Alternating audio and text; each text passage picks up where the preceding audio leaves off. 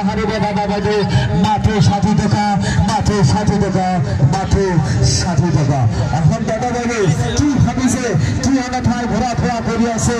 এখন দাদা বাজে এবার সাহায্য পারিবা এয়া সিটি জগতে লই আহে, আপনার মনোরঞ্জনের ভরপুর করে তুলিব।